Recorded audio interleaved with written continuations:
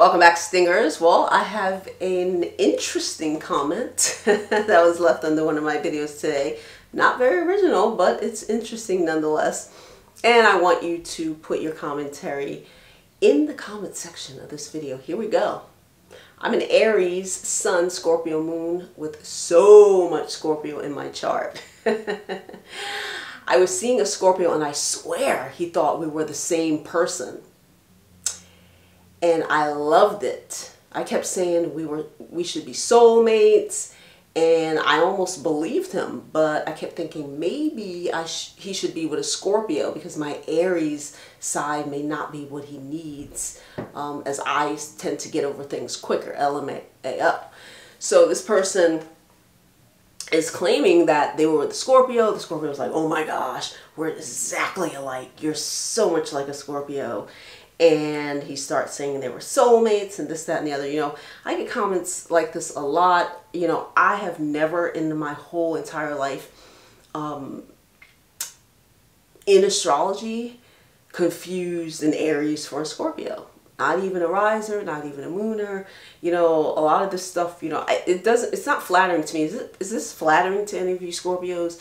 You know, oh, and this Aries decided like, maybe they can't handle me because I'm an Aries. At first you're saying you're so much alike, but then you're admitting that there's that big separation of like, oh, he may not be able to handle my Aries. Like, I thought you were just like.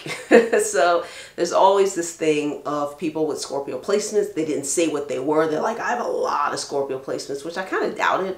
Being an Aries, usually they don't have that many Scorpio placements. Um, it's usually the Libras and the Sag you know, and if they are other Scorpio placements, they are outer planets like Pluto and Uranus and Neptune, which is generational. So everything you're experiencing, honey, the rest of the people your age going through the same thing. So it's not a personal planet, like it's not personal. It's it's you know very far away.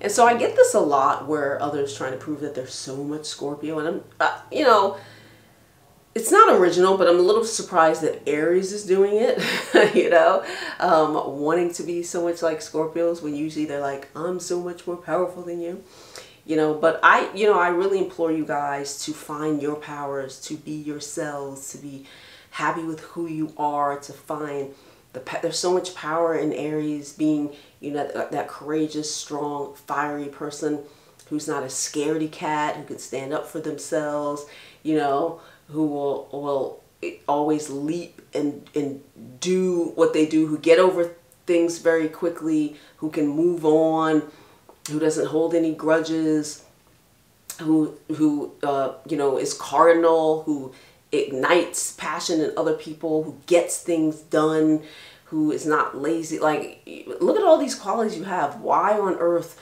are you trying so bad to be a Scorpio or be like a Scorpio or be or be be fooled into someone thinking you're a Scorpio. Like, what are you doing? this is this is so silly, and many of you guys are doing this, and I want you to catch yourself in conversations when you're like, I have a Scorpio moon, I'm so Scorpio, or I have this, or I'm so this. You know, it's like be yourself. Find find the beauty in who you are.